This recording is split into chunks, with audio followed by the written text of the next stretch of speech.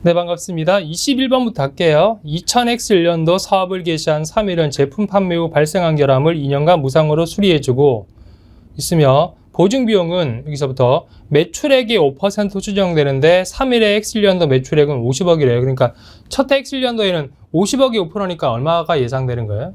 2억 5천 예상되는 거 아시겠죠? 그쵸? 2억 5천인데 X1년도 단기 매출액에 대해서 2억, 이미 2억 원 발생했대. 2억 5천 예상했던 이미 2억 원 발생했고 제품 보증이 발생했습니다. 결산할 때 그러면 추가로 2억 5천 중에 2억 발생했으니까 추가로 얼마만 더 보주, 저 보증 충당부치 잡으시면 돼요? 5천만 더 잡으시면 되잖아. 그쵸? 그래서 그 분계가 동그라미 2번 되겠죠. 그쵸? 차변의 제품 보증비, 대변의 제품 보증 충당부치. 추가적인 5천 원에 대해서만, 5천만 원에 대해서만. 아시겠죠? 응. 그래서 답은 동그라미 2번 되겠죠. 그렇죠? 그 다음 22번 우리 우선주 배, 저 보통주 배당금 나눠 가지는 문제인데 291페이지 참고하시고 291페이지 이것도 간단합니다. 어. 3일은 X1년도 설립되었으며 설립 시에 다음과 같은 주식을 발행했습니다. X2년도까지 배당은 없었으며 3년도 말에 처음 배당을 한대요. 어, 일단 1번 보시면 우리 배당금이란 건 자본금에 곱하는 거잖아. 그렇죠? 그래서 우선주 배당금이 아, 우선주 자본금이 액면 금액으로 곱하셔야 돼요. 발행 금액으로 곱하셔야 돼요. 당연히 액면 금액이죠. 그렇죠? 그래서 500원 곱하기 1000주 하시면 돼요. 그럼 우선주 자본금은 총 50만 원이죠. 그렇죠? 여기에 배당률 때리잖아. 그렇죠? 어. 최소 배당률 몇 프로래요? 4%래. 그럼 여기다가 4% 주는데 중요한 게 배당 가능 이익은 동그라미 2번 총 20만 원이고 우선주가 비누적이래. 그러니까 누적이면 곱하기 여기다가 X1년도, X2년도, X3년도 해서 곱하기 3을 할 텐데 비누적이라고 했으니까 곱하기 3 할 필요 없겠죠. 어, 1년치만 주는 거고 비참가적이래요. 더군다나 또. 그럼 우선주 배당금 2003년도에 얼마입니까? 이거죠. 그죠? 어, 답은 동그라미 2번 되겠죠. 그쵸? 2만 원 되겠죠. 그쵸? 문제 없다라죠. 그쵸? 그 다음은 23번하고 4번 볼게요. 우리 현자 가치 평가하는 거. 서울은 X년도 북경에다가 상품을 할부로 팔았습니다. 원가는 200이고 할부 대금은 매년 100만 원씩 3년간 회수하기로 했습니다. 그럼 100만 원 3년치 연금 연가계수 때려가지고 현저가치 평가해야 되겠죠. 그렇죠? 시장 이자율 5%고 가로에서 5% 3년 연금 연가계수 2.723이라고 돼 있죠. 그렇죠? 23번은 매출 회계 처리 올바른 걸 찾아보래요. 그러니까 매출액은 얼마가 돼야 돼? 100만 원인데 3년 동안 쪼개서 만든 거니까 연금 연가계수 때리시면 2.7232원 되겠죠. 그렇죠? 매출액 잡을 금액은 272만 3,200 200원 되겠죠. 그렇죠? 매출액 짜야 되고 근데 회계 처리할 때 회계 처리 답은 동그라미 1번이야. 그래서 어, 차변의 매출 채권 총 금액을 일단 명목 금액이라 부르죠. 300을 기록하고 대변의 매출은 이 금액이잖아. 현재 가치잖아. 그렇죠? 그러면 300과 이 금액의 차이를 뭐라고 분기합니까? 밑에 뭐라고 되어 있어요? 현재 가치 할인 자금으로 잡으래. 여기 처리가 아시죠? 응. 그리고 참고로 요거랑 같이 정리하실 게 나중에 이것도 같이 정리하세요. 350페이지 객관식 18번도 요거랑 비스무리한 문제거든요. 요 18번도 같이 한번 정리하세요. 아셨죠? 이거 풀어드린 것 같은데 이것도 같이 한번 정리하세요. 메모해서.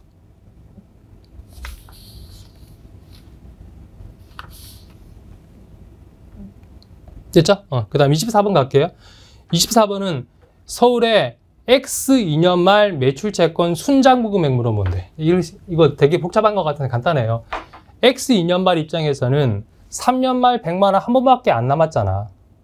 이해하시겠죠? 그러면 1년 뒤 100만 원의 현재 가치만큼이 장부 금액이 되겠지. 아니 X 2년도 2년도 말 입장에서 3년 말에 받을 100만 원 하나 남아 있으니까. 그렇죠? 시장 이자율 지금 5%라고 했죠. 어떻게 하시면 돼? 나누기 1.05 이렇게 하시면 끝나겠죠. 1년 뒤 100만 원이 현재 가치잖아 이게. 그죠? 요만큼 장부금이 남아 있겠죠. 이해하시겠죠? 어, 그래도 이렇게 하시면 24번은 답은 동그라미 4번 나옵니다. 그렇죠? 음. 어, 앞에서 구할 게 아니라 앞에서 밀고 나갈 게 아니라 간단하게 그냥 1년 뒤 100만 원 남아 있는데 나누기 현재 가치 어, 하시면 어, 장부금액이 되겠죠. 그렇죠? 그 다음 25번 볼게요. 25번은 제가 그 수업 정기반 할 때 풀어 드렸죠, 이거. 그쵸? 어, 그래서 계약 자산 무채 구하는 문제인데 어디서 했냐 하면 360페이지에서 했었어요. 그래도 풀게요.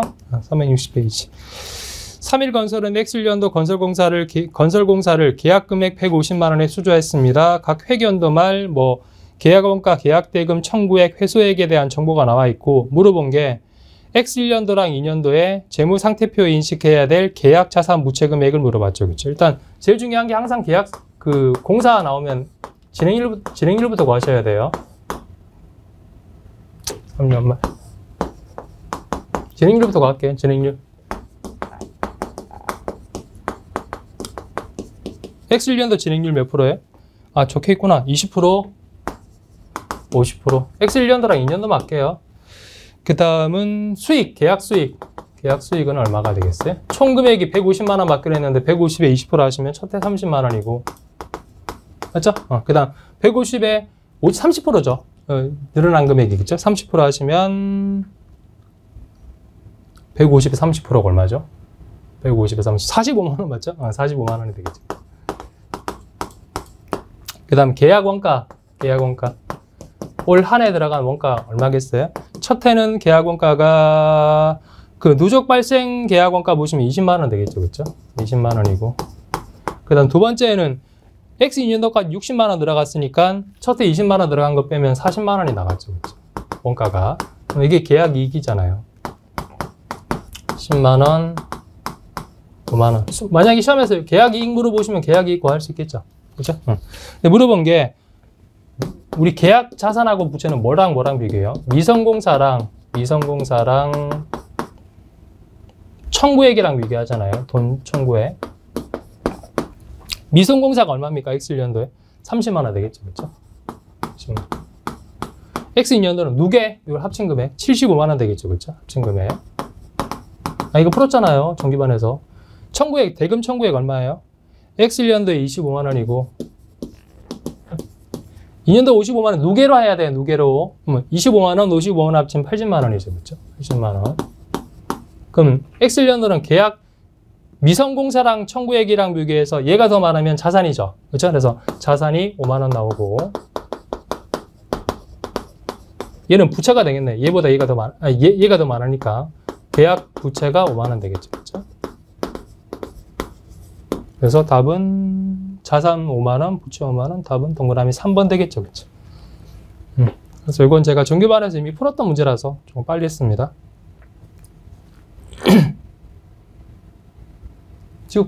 음. 이렇게 돼 있죠? 그 다음은 26번 갈까요? 다음은 종업원 급여. 퇴직급여 우리 어디서 했냐면 376페이지에서 했어.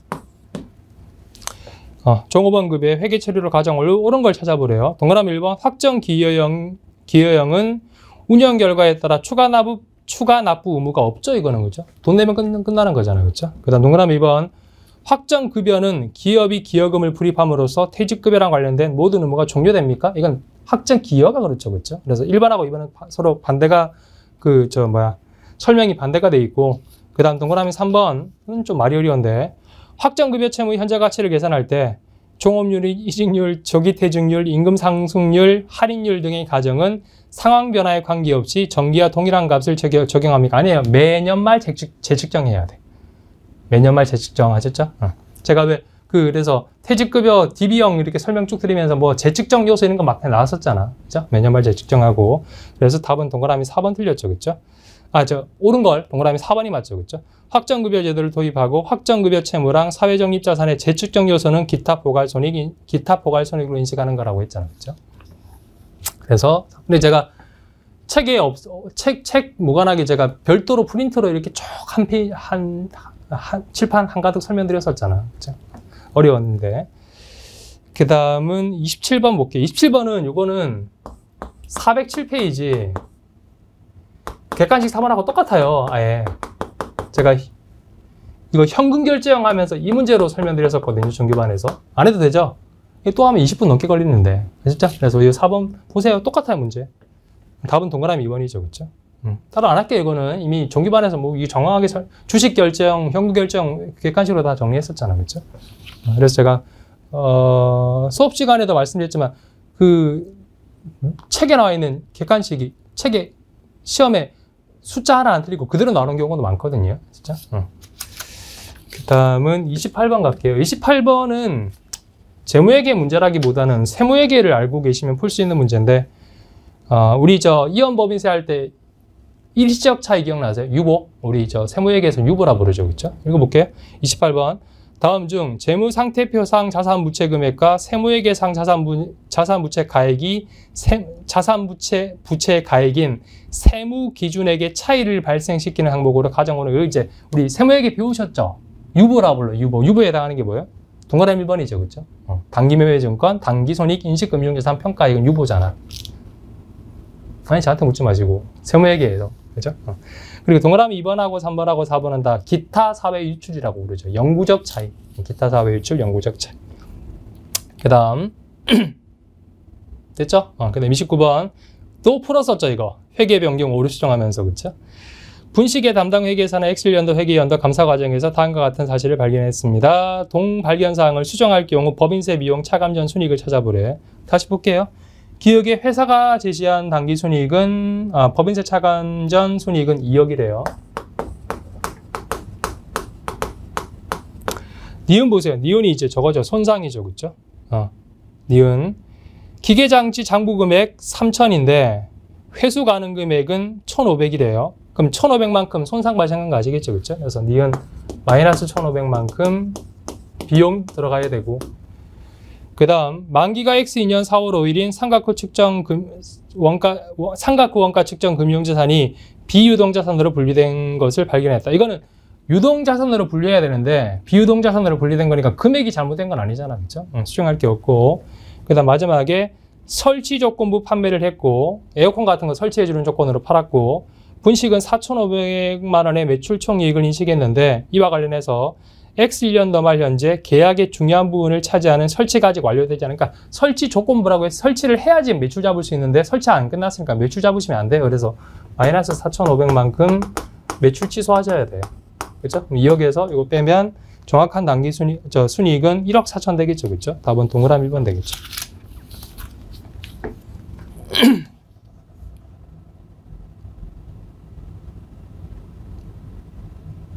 주입니다.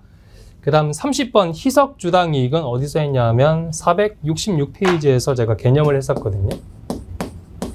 희석 주당 이익.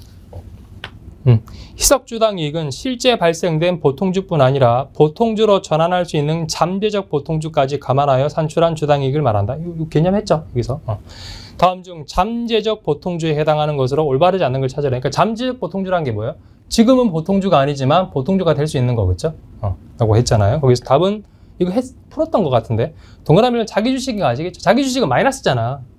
그죠? 우리 가중 평균 유통 보통 주식수 할 때 마이너스로 되는 거잖아. 그죠? 저, 저, 저 분모에서 마이너스 하는 거잖아. 그죠? 그리고 나머지 뭐 동그라미는 전환 우선주, 동그라미에서 한번 일정 조건이 충족되면 발행될 보통주, 그 다음 동그라미 4번 전환 사채는 다 나중에 보통주가 될 수 있는 거잖아. 그죠? 음, 잠재적 보통주라 부르고 그 다음 31번 가중 평균 유통 보통 주식수 구하는 문제네요.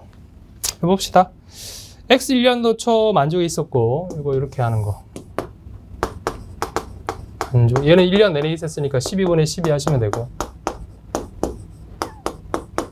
만주가 되고 4월 1일자 유상증자한 게 6월 6천주일 때요.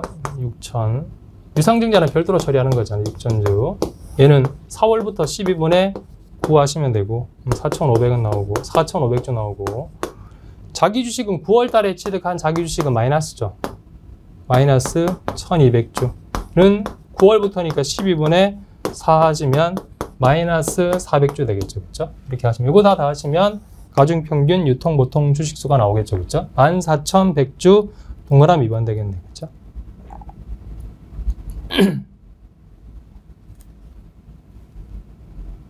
됐죠? 어. 그 다음 지웁니다. 그 다음 32번 할게.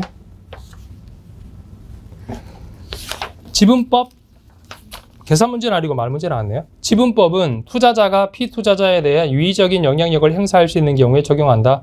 그러니까 20% 넘어가거나 아니면 유의적인 영향력을 행사할 수 있거나 그렇죠. 다음 중 유의적인 영향력을 행사할 수 있는 경우에 해당하는 것으로 가장 올바르지 않은 걸 찾아보래요. 요거는 제가 사례를 제가 설명드렸었는데 477페이지 보시면 돼요. 이거는 유의적인 영향력을 행사할 넌 내 거로 볼 수 있다라고 하는 거. 그래서 동그라미 1번 뭐 이사회에 참가, 참여할 수 있고 동그라미 2번 필수적 기술 정보를 제공하는 경우 주의하실 게 일반적 기술 정보 제공하는 경우는 아니에요. 아시죠? 필수적 기술, 기술 정보. 그래서 제가 현대차가 기아 자동차에다가 자동차 기술 개발을 전수한다 이런 얘기 했었잖아요. 그렇죠? 그 다음은 투자자랑 피투자 사이에 중요한 거래가 있고 1, 2, 3번은 다 유의적인 영향력을 행사할 수 있는데 동그라미 4번 틀렸죠. 투자자랑 피투자자가 동일 지배하에 있대. 똑같은 애들이. 그죠? 이런 경우라면 어, 유의적인 영향력을 행사할 수 없는 것으로 보겠대요. 답은 동그라미 4번입니다. 그 다음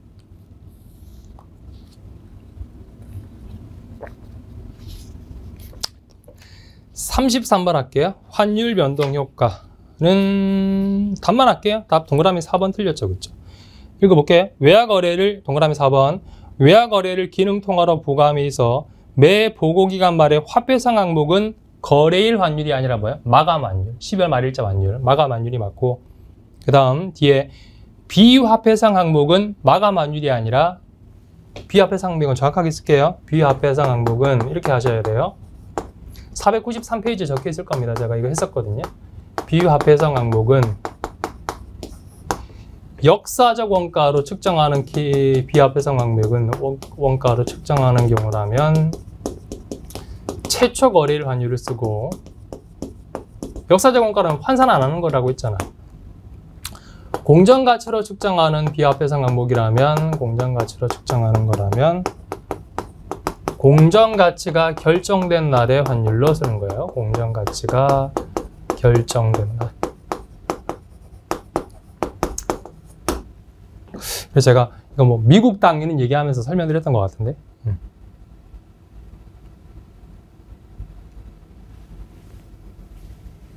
지울게요. 어.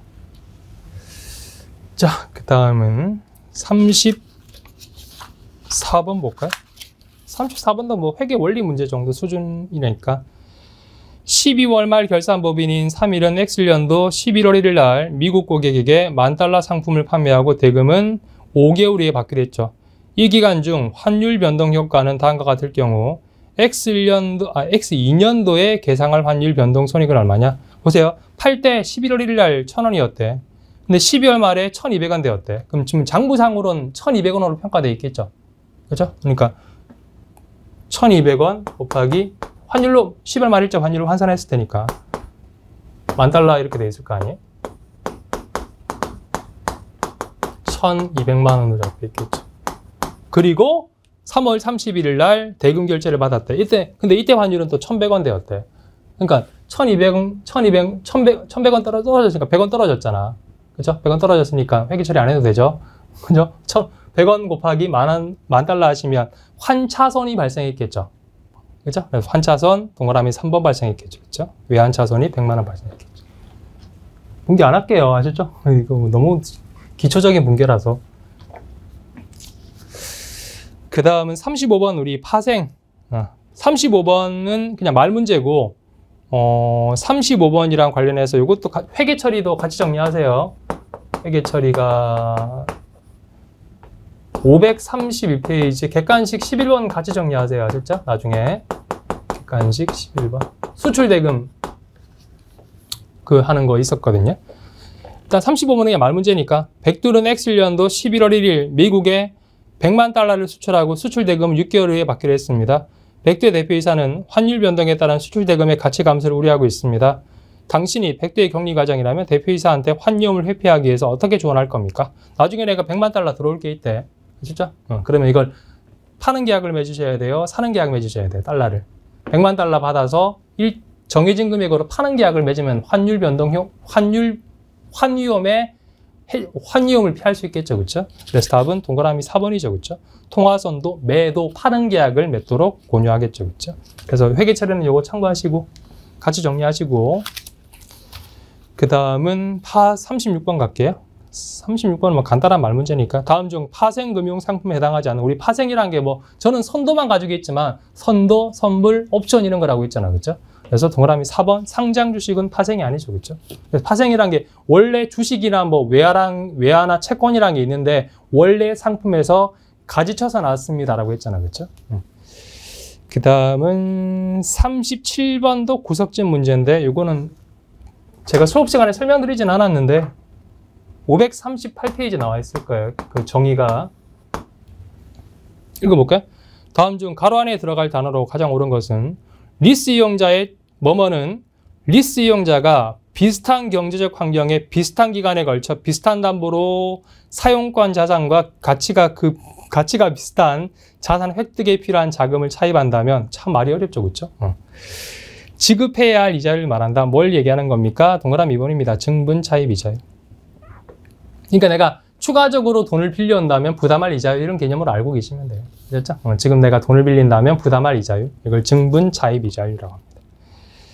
그 다음은 38번 볼게요. 리스 서울은 부산과 X1년도 1월 1일자 금융리스 계약을 체결하고 매년 말 34170 리스료를 수수하기로 했습니다.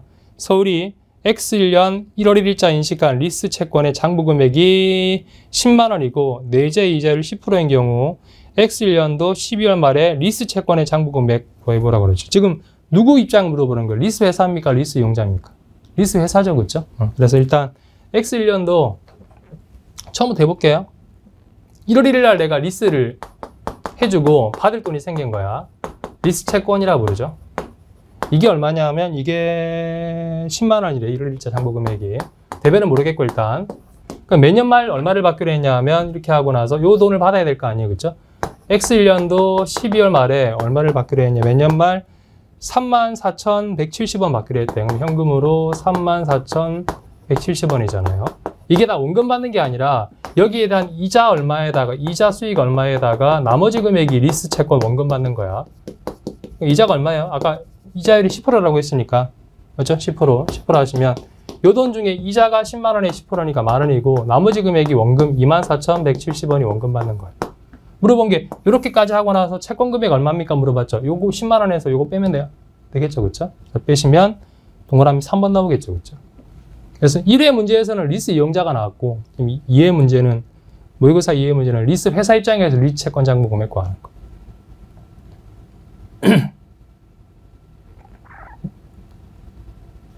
지울게요.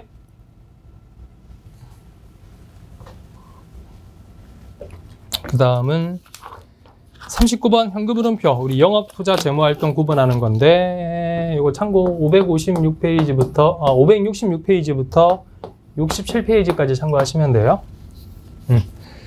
음. 39번 제조업을 영위하는 3일의 다음 거래에 따른 결과를 현금 흐름표의 영업투자 재무활동으로 나타낸 것이다. 올바르지 않은 걸 찾아보래요. 동그라미 1번 유형자산을 샀다. 투자활동이죠. 동그라미 2번 원재료 재고를 샀다. 영업활동이죠.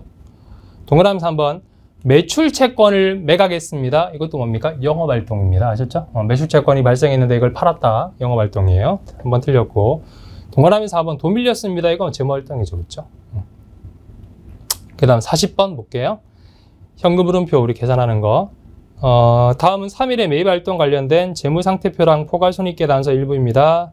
3일의 모든 매입은 외상으로 이루어진다고 가정할 할, 때 3일이 매입처에 지급한 현금 얼마? 이게 현금 구하는 현금 이익 구하는 거예요. 현금 흐름표에서 현금 이익 구하는 거예요. 그럼 보세요. 거기서 이렇게 생각하세요. 그 니은에 보시면 재고 매입액은 1억 6천이라고 돼 있죠. 그죠? 어, 이게 현금이 1억 6천 나갔다고 가정해 보세요. 그러면